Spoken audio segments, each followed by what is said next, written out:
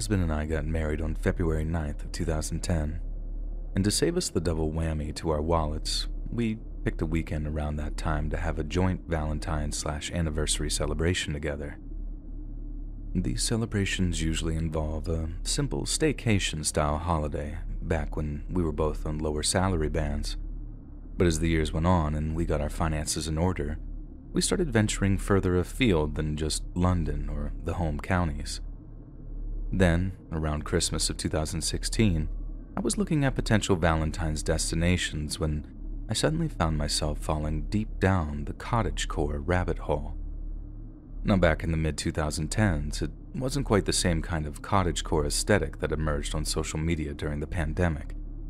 Like a lot of inspiration came from Japanese mori fashion, which emphasizes muted colors and nude shades like beige, brown, off white, light green, and earthy red, as well as natural materials like cotton, linen, wool, and leather. But anyway, after seeing a lot of posts outlining Mori styles and aesthetics, I suddenly got a bee under my bonnet about staying in a remote country cottage over Valentine's weekend. When my husband agreed, we started looking at a few places and eventually settled on a small, cozy looking cottage up in North Yorkshire.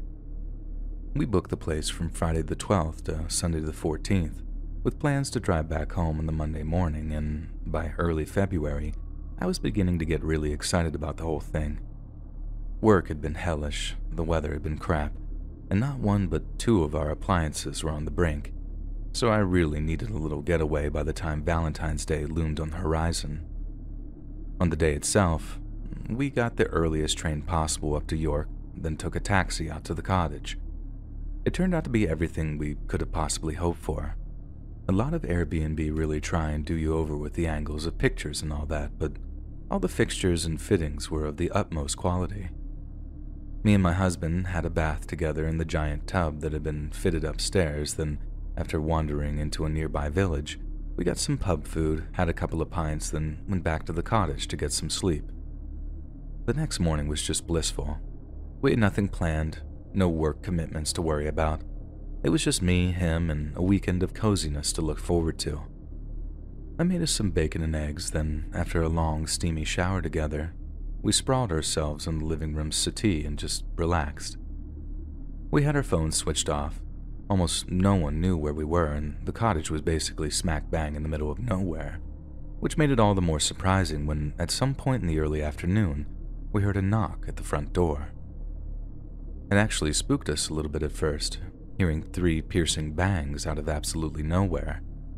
But regardless, we knew we had to answer it, as it might have been the host trying to get some important info to us.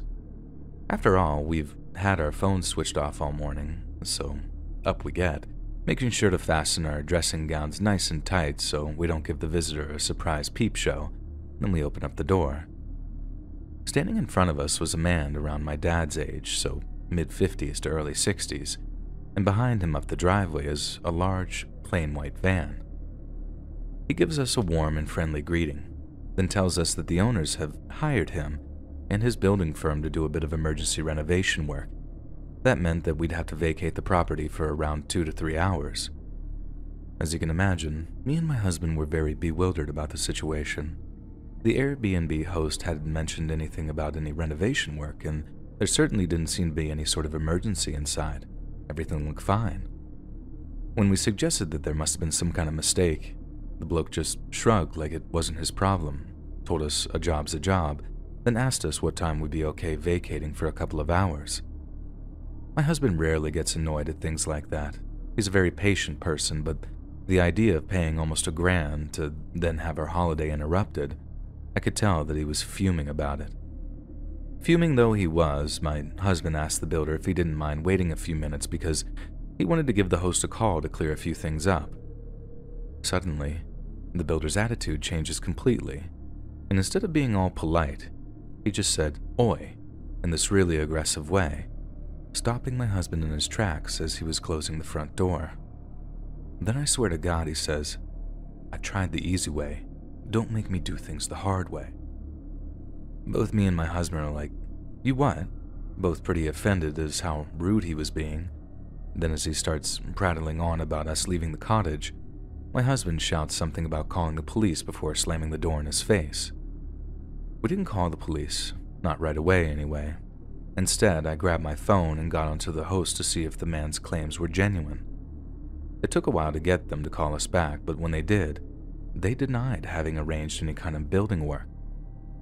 We then tried to clarify who the man was and why he'd been so threatening, but the host claimed to have no idea. They asked us to call the police if we didn't feel safe, and if we really didn't want to stay another night, we could leave with a full refund if we'd considered booking another time. The host and his wife were those two pensioners who supplemented their income through the rentals, and they were so sweet about the whole thing. So instead of us turning tail and running at the first sign of trouble, we decided to stay for the duration of our booking and enjoy the holiday we'd worked so hard to afford. Whatever the weird bloke's game was, we were pretty confident that the threat of calling the police would dissuade him from whatever he had in mind. And if it didn't, well, we just crossed that bridge when we came to it. If we'd have known what was about to happen, if the bloke had given us any clue whatsoever, we'd have been out of there within the hour. But he didn't. When he turned nasty, it was all these cryptic antagonistic warnings and threats that were only ever going to provoke a defensive response. We had no idea what he had in mind, so we stayed, and a couple of hours later, it all started to go downhill. It's early evening, so about 6 o'clock, and because of the time of year, it's almost completely dark outside. Obviously, we were still quite concerned by the strange bloke's bizarre visit, but after my husband found an old cricket bat in his upstairs cupboard, we felt marginally safer. On top of that, hours had gone by and we'd seen hide nor hair of our unwelcome visitor, so we just crossed our fingers that we'd see no more of him and got on with our romantic weekend getaway. We weren't feeling particularly hungry, and the pub served food until 8, so we decided on a quick dip in the giant bath before beginning the walk into the village. The upstairs layout was such that the bathroom was on the front side of the cottage, with the bedroom at the rear. The bedroom had this cute pair of wooden framed windows that opened outward into the back garden, but the bathroom had only one small circular window that opened just a crack. If you looked out, you could see the cottage's driveway, along with a little bit of the lane outside, so when we were in the bath and we thought that we heard a noise coming from outside, my husband climbed out of the tub and peered through the glass onto the driveway. Like I might have already mentioned, my husband is the most emotive person, definitely the counterweight to me being very fiery, but that's another story. You hardly ever see him angry, and you never see him scared. So when he turned around to me, and I saw this look of blind terror on his face, I knew that we were in a hell of a lot of trouble. Get out of the bathroom, put some clothes on, was all he said after that, and he ran to the bedroom to do so himself. You can imagine how panicked I am, because he still hadn't told me what he'd seen that had got him so frightened. It was the bloody zombie apocalypse for all I knew, so while I too rushed to put some clothes on, I'm asking him over and over again what's going on. Please just tell me what's happening. There are people outside. They've got masks on. We need to hide. I knew it was connected to the guy who'd visit us in the early afternoon. I just bloody knew it. I just hadn't the foggiest idea how. I made sure to throw on as many layers as I could, knowing that we'd probably end up running out the back door or something if the blokes outside tried coming through the front. Then bang. What turned out to be a sledgehammer smashed into the front door, and we take that as our cue to get the hell out of there. We ran downstairs actually saw the damage that was done to the door by whoever was breaking it down, then bolted towards the kitchen, which is where the back doors were. It was very scary, but I remember knowing that whatever the man or men wanted, it involved the cottage, not us. If we just ran off and stayed away for a few hours, everything would be fine, right? Wrong. My husband swung open the back doors after struggling to unlock them, but instead of being greeted by the path to freedom, we were greeted by a man in a balaclava with a massive crowbar looking thing in his hands. We were trapped. The man with the crowbar thing ordered us back into the house, and he was soon joined by another masked man carrying what looked an awful lot like a big saw. One of them told my husband, If you do anything stupid, We'll kill your missus. And that kept him fairly quiet. Me, on the other hand, I was just so scared, so I kept saying all sorts of things begging them not to hurt us, that we were sorry, that we'd just leave if they let us go free. All they replied with was, Shut up, shut your mouth. And then the next thing I know, we're being led into one of the upstairs rooms and made to kneel. I was so scared that they were going to kill us. All that assurance that they were there to rob the house or something just completely went out the window, and in the end, I had to make so much noise that they shoved a pillowcase in my mouth to keep me quiet. The next thing I remember, the intruders made my husband tell them where our phones were, and that gave me more hope that they weren't going to hurt us. They didn't seem like petty thieves, so taking our phones was to ensure us that we wouldn't be able to phone the police once they left, I was thinking. I only really started to calm down and compose myself when I heard some really loud banging from downstairs, and my husband started reminding me that they weren't there for us, that they were just looking for something, and if all the hammering was anything to go by, it was something in the walls. Since we were told to keep completely quiet, we could hear all the smashing and bashing downstairs, and we could hear the guys saying things to each other. You could hear, try this one here, and then bang. Someone would smash a sledgehammer into a wall. Then you'd hear others ripping the wood and plaster apart, no doubt looking for something. They did this over and over again until finally, he heard someone downstairs shout, Got it. I couldn't see what was going on, but you could tell that they'd found what they were looking for because there was this big flurry of activity before the guy guarding us suddenly leaned in and growled something to us. I don't want to hear an effing peep out of the two of you until we're gone. You try anything, and we'll kill both of you. After that, he was gone, and after a little bit more activity from downstairs, the cottage was silent again. Neither of us moved for what felt like a very long time. Even though it felt like we were in the clear, I couldn't stop shaking. In fact, I think I was shaking harder then than I was when they were tying our hands, blindfolding and gagging us. And that was just all raw fear. What came next was this emotionally exhaustive adrenaline come down. When we finally thought it was safe, my husband somehow wriggled his way out of his bindings then untied mine as he tried to reassure me. I just burst into tears as he hugged me, having never felt so grateful to be alive in my whole life. It felt like we'd lived through a nightmare come to life. It was surreal in the extreme, and once we collected ourselves, we began to creep downstairs to survey the damage.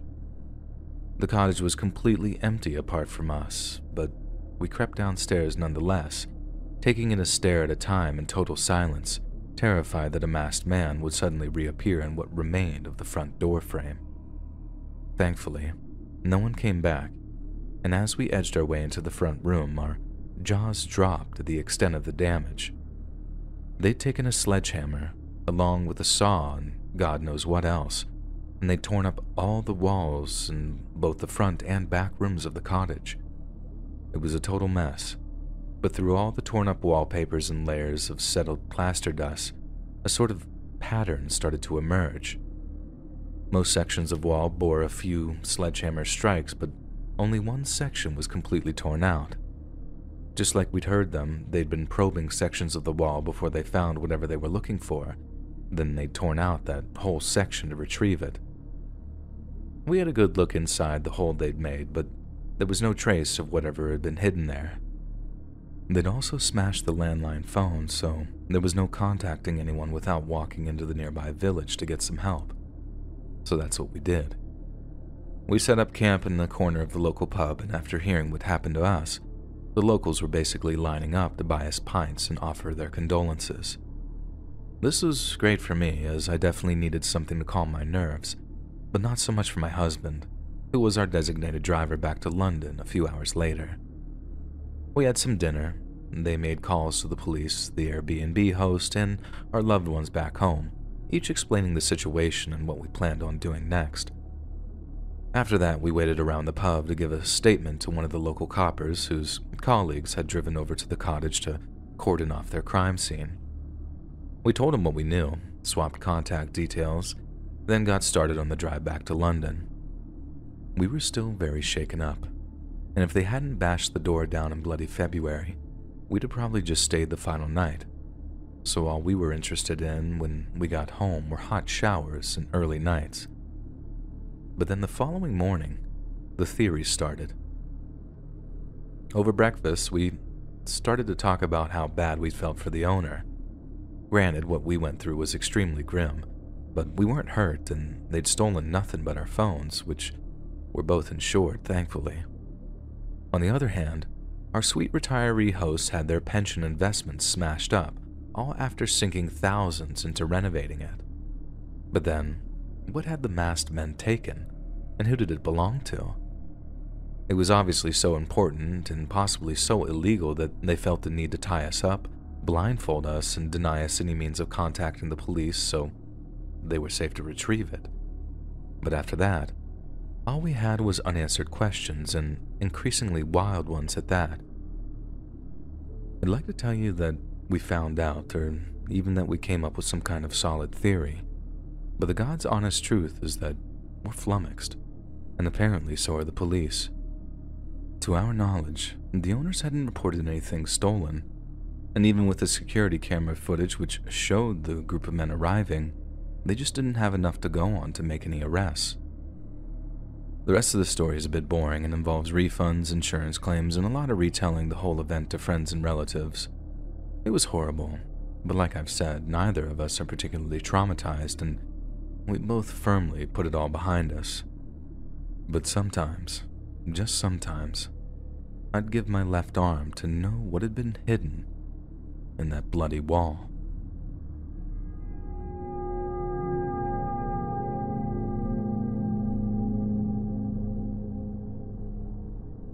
A few years ago, I took my grandma and her friend on holiday to Egypt.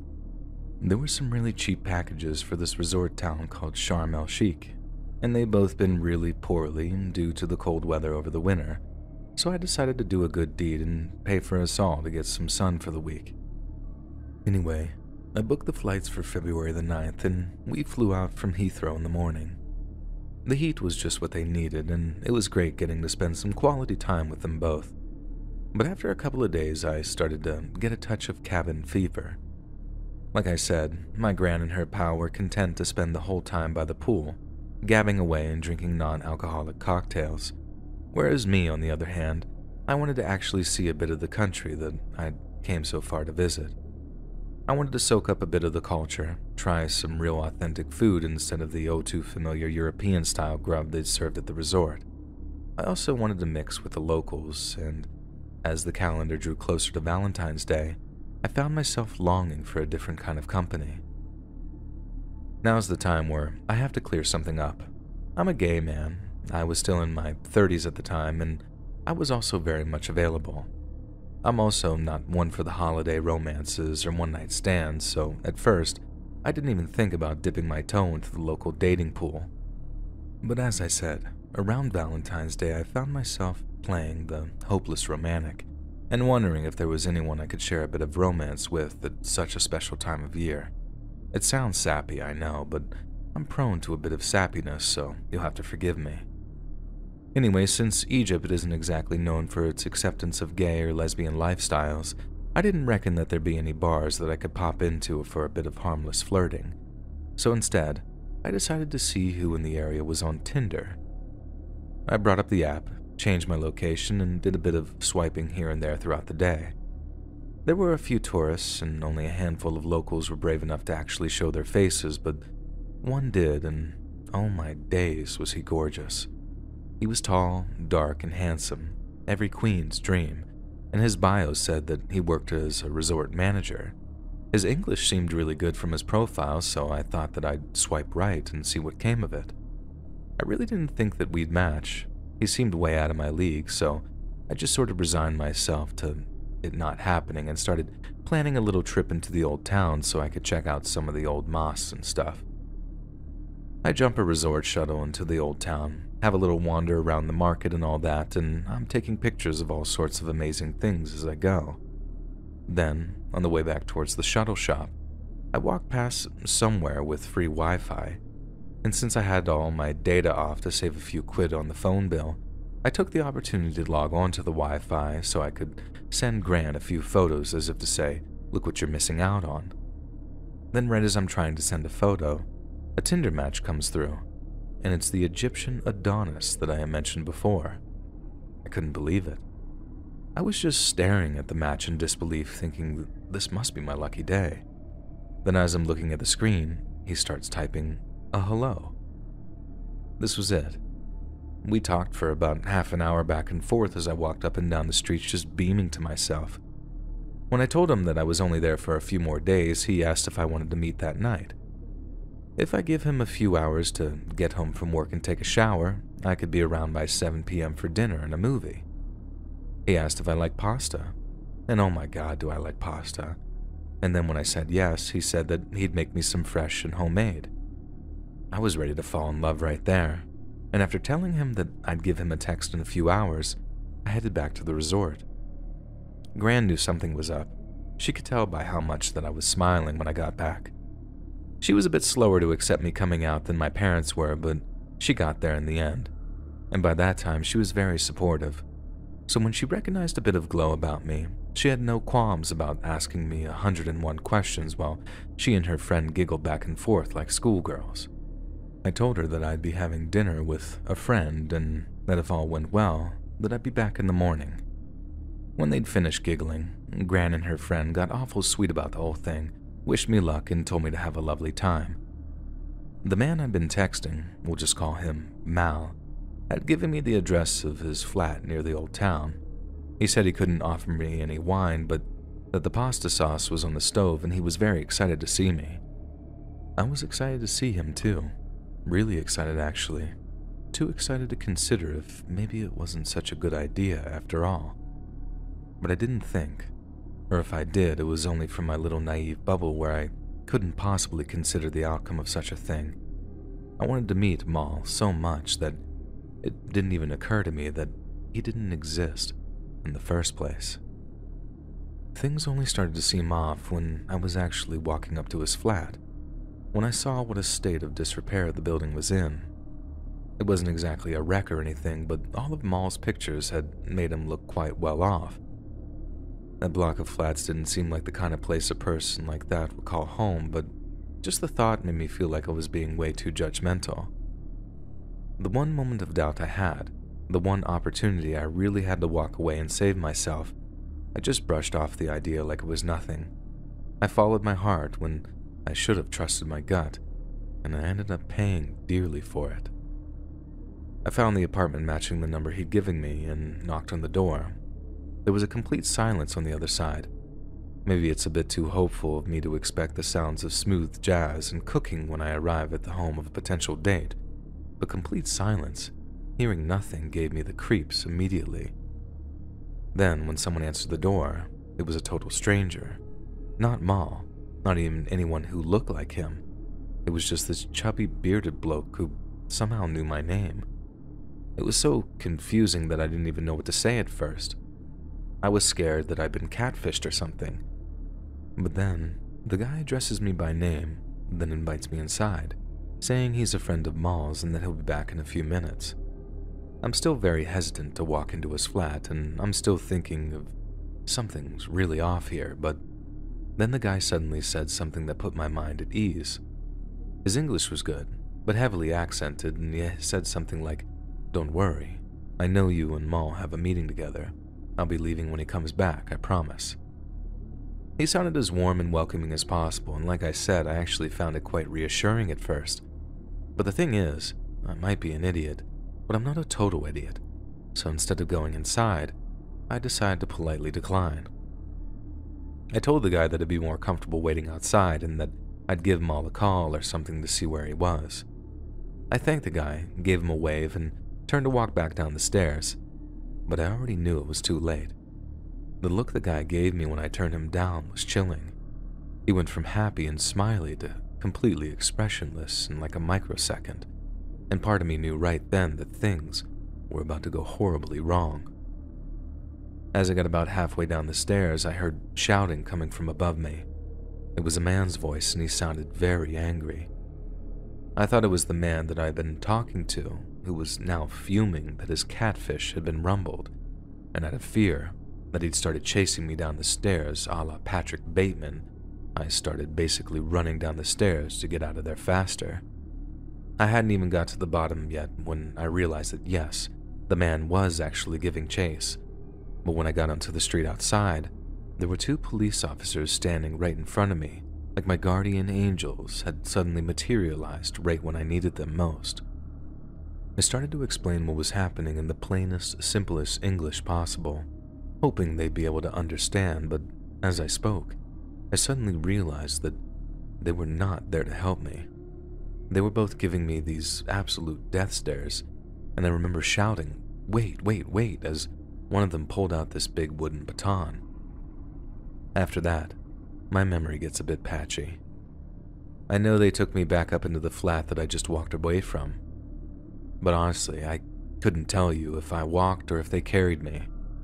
The next solid memory I have was being punched and kicked while the man who answered the door asked me questions in English. I remember trying to answer them as best as I could at first, but I could taste blood in my mouth, and anything I tried to say just came out as a kind of groan. I spit out the blood so I could speak, but that just made them beat me harder. Then the questions turned to my sexuality and the reasons I had traveled into the old town that evening. In that moment, it wasn't quite like their whole scheme came together before my eyes, but it definitely was a big clue for me. The invite from Mal had obviously been some kind of trick, and although I was sadly familiar with the concept of gay bashing back in the UK, the fact that the police were involved in whatever was going on was absolutely terrifying to me. It's a testament to how scared I was that when they actually put some handcuffs on me and dragged me out to a waiting police car, I was actually relieved. I thought that that'd be the end of the beatings and abuse, and the beginnings of some kind of official legal process, but it was only half right. They took any opportunity they could to punch me, kick me, or throw me into a wall, and when I asked what I was being charged with, they told me simply debauchery. I didn't even know what debauchery even was at the time, let alone that there was a law against it in Egypt, and the fact I was completely in the dark about the whole thing meant my nerves were stretched to a breaking point for almost every minute that I was in that cell. I only really got an idea of what was going on when a man from the British Foreign Office turned up to have a chat with me. I never thought that I'd be so happy to see another English person, and at first, just being spoken to like a bloody human being was such a relief that I had to fight back tears for a while. His name was Martin, and as much as first meeting him was a real boost, the news he had for me wasn't good. Basically, Egypt had made it illegal to be intimate with someone outside of marriage, they call this law Article 9 or something.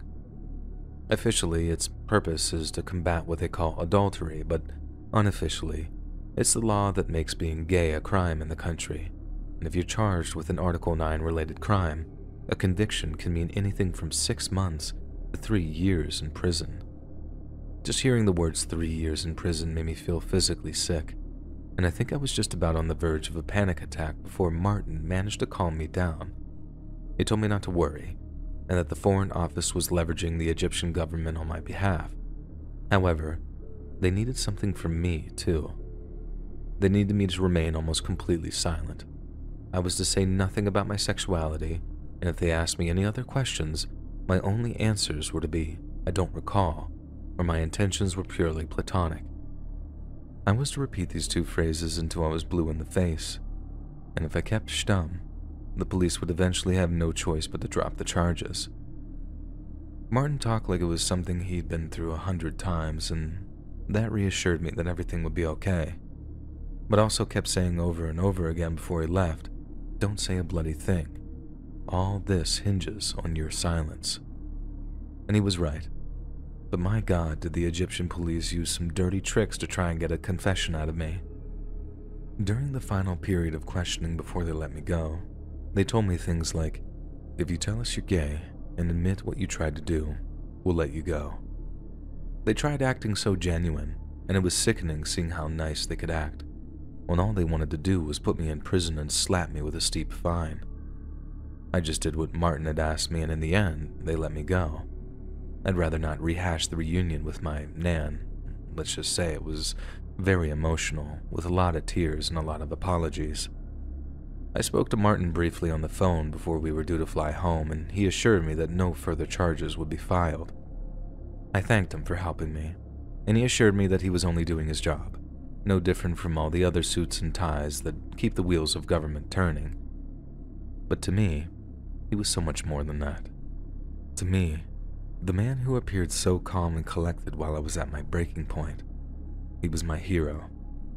Even if he was the most unassuming hero you could dream of.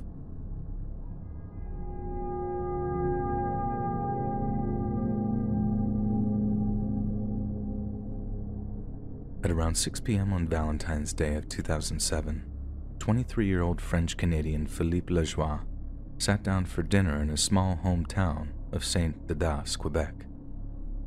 Once he'd finished, he put on his boots, grabbed his car keys, then made the short drive over to a town called Yamachiche. It was here that Philippe owned and operated a small pigsty with the assistance of his older brother, Mathieu. He normally joined Philippe in tending to the pigs, but on that particular day, a heavy snowstorm meant Mathieu was occupied with snow plowing duties. In light of that, Philippe asked their father if he cared to join him in place of his brother, yet his father declined on account of the bitterly cold weather. It was a decision that he'd come to gravely regret. Philippe was expected to return home at around 9 to 9:30 p.m., as his porcine duties only took around 2 to 3 hours. But by 2 o'clock in the morning, when Philippe had still yet to return home, his mother began frantically calling the pigsty in order to check in on him. When he failed to pick up the phone, Philippe's father and brother drove out to the Yamachiche pigsty to search for him. When they arrived, the two men found Philippe's truck empty, with the rear door wide open and the key still in the ignition. It appeared as if the truck had been in that condition for quite some time, as snow was starting to gather on the lip of the interior. When they checked the truck's engine and ignition, it appeared as if the truck had been left in that condition for quite some time, as the snow started to gather on the lip of the interior. When they checked the truck's engine and ignition, it appeared to be in full working order, and a bag containing Philippe's work clothes was lying in the back seat. The men discovered that the clothes had fresh muck on them and that the pigs had been fed, meaning Philippe had vanished some time after completing his duties. They called out his name, hoping that he might have been close, but they were greeted only by the squealing and snuffling of their pigs. It was as if Philippe had simply vanished into thin air. Matthew and the boy's father arrived back in St. Didace at around 6 a.m., and checking a nearby hospital, contacted law enforcement to report Philippe missing. Quebec police launched a massive search effort in the days that followed, one that included specialist tracker dogs, helicopter borne search teams, and legions of local and regional volunteers. Their efforts were initially promising, but just days into the search, a huge snowstorm blanketed the area with almost three meters of thick snow. Volunteers worked as best they could, using sticks and batons to probe the snowdrifts, but frustratingly, not a single trace of Philippe was ever recovered, and search was abandoned on February 23rd. In the aftermath of the disastrous search effort, police began to theorize that Philippe had either traveled elsewhere to take his own life or had carried out a voluntary disappearance in order to begin a new life somewhere else. His family swiftly dismissed the idea of him taking his own life, and a provincial inquiry agreed that it was extremely unlikely given the lack of note or remains. It was also declared improbable that Philippe had absconded for some reason as all of his personal effects remained at home and his bank account had remained untouched in the time since he disappeared. But then, around three weeks after Philippe vanished, police raised the possibility of something very disturbing having occurred. One day, Matthew received a phone call from one of the detectives charged with finding his brother. The detective asked if he'd noticed anything unusual about his pig's manure. Matthew replied in the negative, then suddenly realized what the detective was implying. Matthew had been disposing of the pig's feces for weeks by that point, and at no point had anyone bothered to analyze them for any trace of Philippe's remains. Forensic examiners rushed to gather all of the pig's droppings that they could get their hands on, but once again, they found nothing. Yet this was weeks after had disappeared, and although it was still feasible that remnants of his corpse might still be in the digestive tracts, we can't rule out the horrifying possibility that Philippe was eaten by his own pigs. At 5 foot 8 and around 150 pounds, Philippe wasn't a huge man by any stretch of the imagination, and pigs have been known to chew through flesh and bone until even the largest of corpses had been completely consumed. Yet even if that was the case, surely Matthew would have noticed a scrap of denim or an errant bootlace amongst the pig's scat. Maybe so, but if he wasn't actually looking, then maybe not. After all, the idea that Philippe had been devoured was a thought too horrible to possibly contemplate, at least until a detective suggested it as a possibility. It should be noted that the chances of Philippe passing out in the pig pen only to be fully consumed over the course of five hours is extremely low. According to Quebec police, it's not a theory they're taking particularly seriously, but at the same time, it's not one that they can entirely roll out either. On the fifth anniversary of Philippe's disappearance, his father drove over to the provincial courthouse to have his son declared legally deceased. His father had been staunchly reluctant to do so and had prayed that one day Philippe would return home.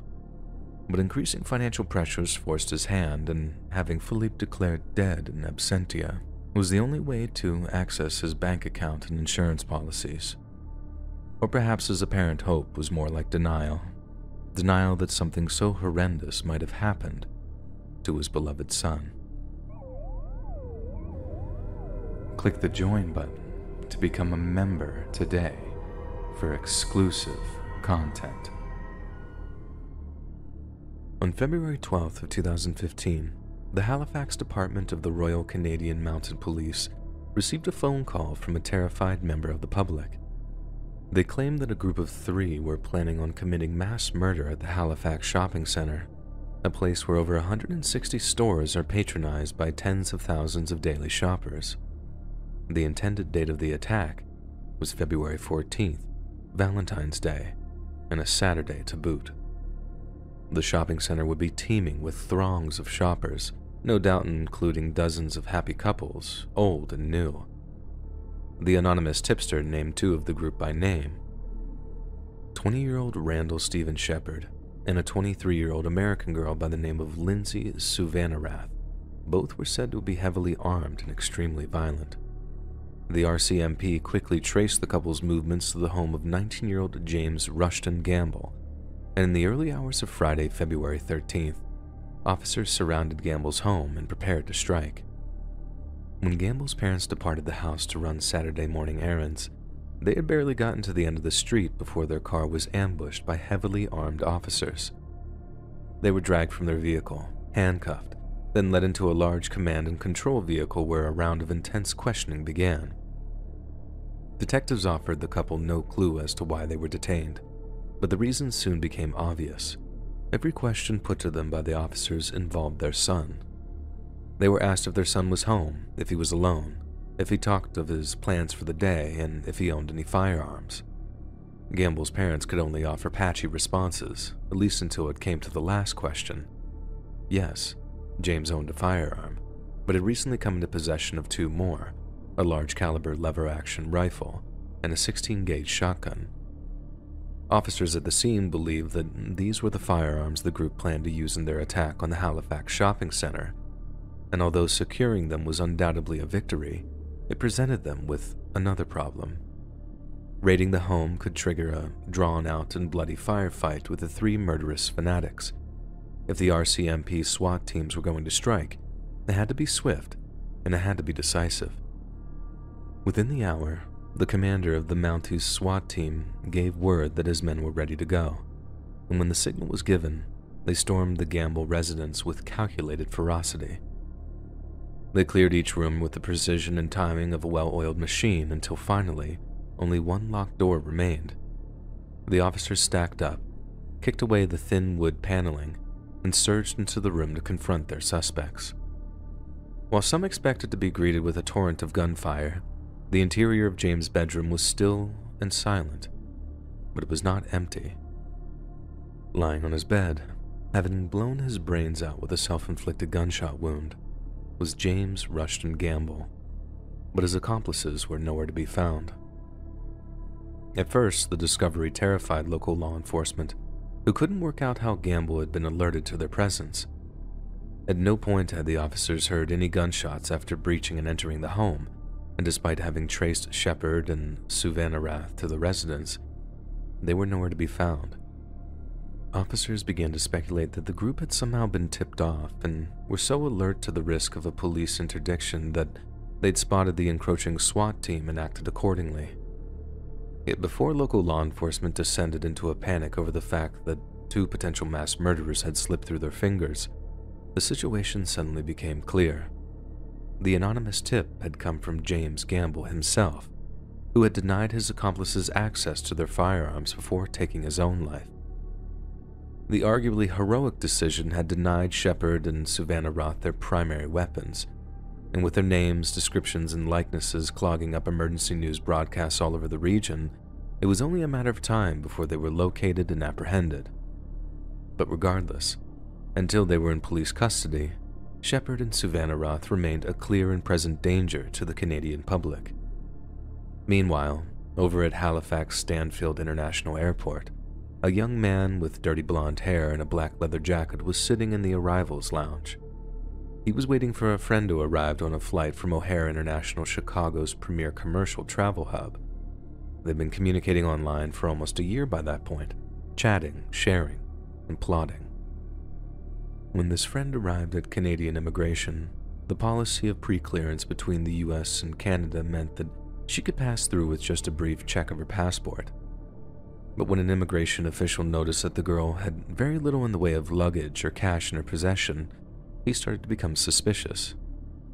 The official asked to see the girl's passport once more, and when he checked the name, he saw it read Lindsay Souvannarath. Lindsay watched as the official typed away at his computer terminal, and suddenly, he turned pale. Seconds later, a stern looking member of airport security arrived and asked Lindsay to accompany her to a nearby interview room. When asked why she was visiting Canada, Lindsay replied that she was visiting her boyfriend, James Gamble, and how the couple had planned to spend Valentine's weekend together. The answer didn't seem to satisfy the security official, who asked Lindsay to clarify exactly what they planned to do. Lindsay replied something to the effect of, What does any couple do on Valentine's Day? It was a good enough cover story, but following a brief search for backpack, Lindsay had a great deal of difficulty explaining why one of her hats bore a swastika symbol. After that, Lindsay refused to answer any more questions, at which point she was arrested on charges of issuing threats. The couple remained tight lipped during questioning, and any initial attempts to get them to talk were unsuccessful. But as one team of police officers struggled to make a breakthrough, Another group came across an information goldmine in the form of Shepherd and Souvannarath's Tumblr blogs. It became clear that all three plotters had met on the website and had become friends after discovering mutual interests in horror movies, heavy metal, and extreme far right politics. The trio seemed to idolize the perpetuators of the Columbine High School massacre, with Savannah Souvannarath christening her blog School Shooter Chic Violence is an Aesthetic. The pastel pink color scheme of her blog page stood in sharp contrast to its content, which included cartoon images of violent paraphilia. Lindsay also seemed to venerate white supremacist politics, which is extremely ironic given her Southeast Asian heritage. Yet, although her politics were quite evidently confused, her intentions were not. Just over a week before she landed in Canada, Souvannarath had posted a picture on Tumblr, one with a caption stating, Valentine's Day. It's going down. She most definitely intended to wreak havoc on the innocent citizens of Halifax that day, and if it wasn't for the courage of the anonymous tipster and the swift actions of Canadian law enforcement, many people would have lost their lives that day. By all accounts, it was Randall Shepherd who cracked first, and although it's not clear what variety of interrogative techniques were used, he ended up telling the police everything James Gamble and Lindsay Souvannarath had been the attack's primary planners, while Shepherd had taken on the role of cheerleader, as he phrased it. All three had planned to shoot up the Halifax shopping center before taking their own lives, with the whole thing taking on an air of twisted romance for James and Lindsay. With Shepherd's confession secured, both he and Lindsay were charged with conspiracy to commit murder, conspiracy to commit arson, illegal possession of weapons for dangerous purposes against the public, and making threats over social media.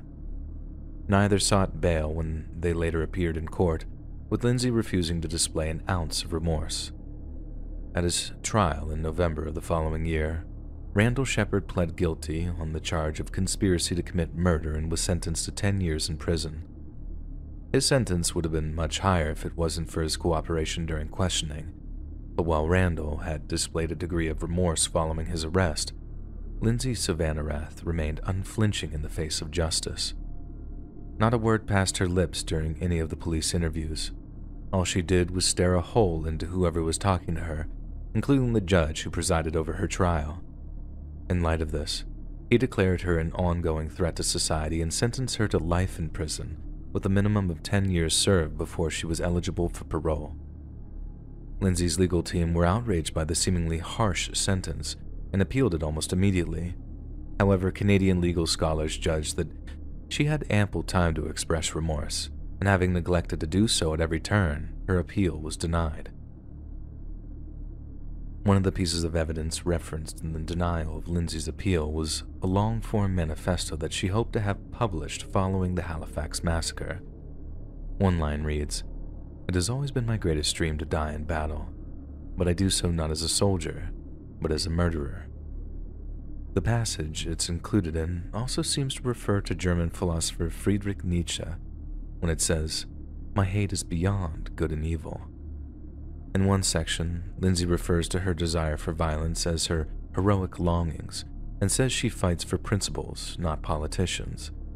What morality is depends on which end of the gun you are looking at. With the gun in your hand, I am God.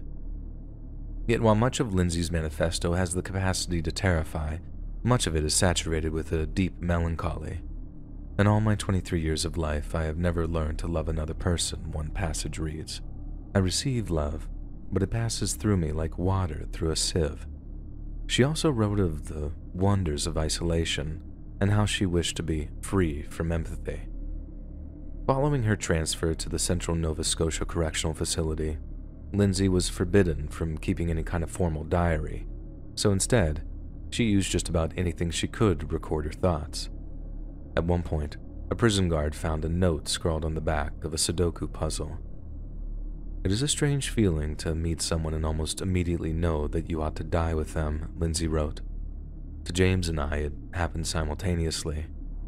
At first, we were casual acquaintances, having discovered each other's Tumblr blogs through a mutual interest in the Columbine shooting and in National Socialism communities. Less than a month later, we were planning our deaths.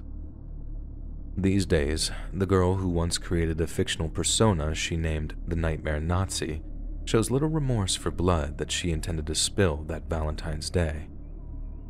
She also refuses to accept that James Gamble was the one who made the anonymous phone call which foiled their plot. In her mind, James took his own life as a show of defiance rather than allow himself to be taken alive, but that couldn't be further from the truth. The sad irony is that James Gamble saved Halifax from a massacre that he himself planned out and regardless of his questionable beliefs, he should be lauded for that. That might seem like a controversial opinion to some, but imagine for a moment that it was Lindsay who had possessed those firearms. Lindsay, who remained remorseless when her evil plots were brought to light. Lindsay, who claimed the only way she'd return to America was in a body bag.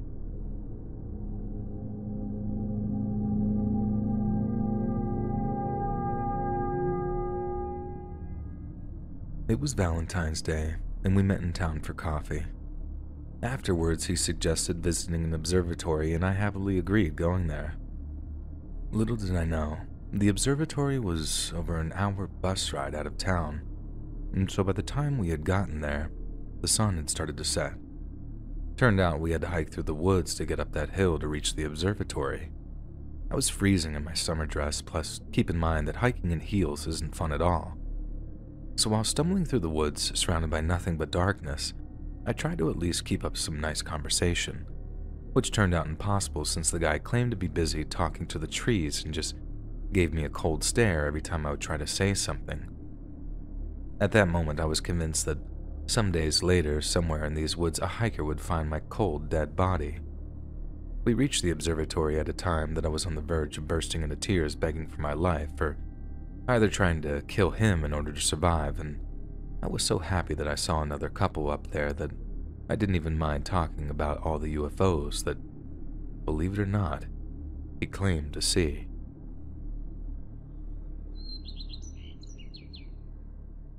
Hey friends, thanks for listening.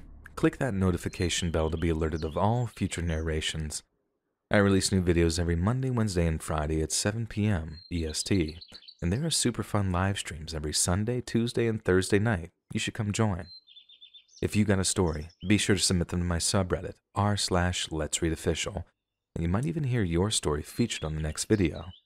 And if you want to support me even more, grab early access to all future narrations and bonus content over on Patreon, or click that big join button to hear about the extra perks offered for the channel. And check out the Let's Read podcast where you can hear all of these stories in big compilations and save huge on data, located anywhere you listen to podcasts. Links in the description. Thanks so much, friends. And remember, this isn't even my final form.